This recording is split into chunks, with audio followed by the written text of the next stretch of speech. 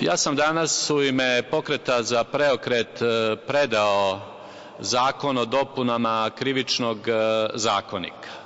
Taj zakon mogao bi se nazvati zakon za poštene izbore. Cilj ovog e, zakona jeste da naredni izbori, ma kada oni budu održani, budu fer i pošteni. Trenutno nema uslova za fer i poštene izbore, jer situacija na terenu kod lokalnih izbora, pa čak i za izbore za mesne zajednice, poslednji slučaj smo imali u nedelju kada su bili izbori za mesnu zajednicu Kisač, za dva, moglo bi se reći, nebitna člana nadzornog odbora, glasovi su kupovani suhomesnatim proizvodima, a u sredini koja je više nacionalna i u kojoj većinom žive manjine bilo je i zastrašivanja.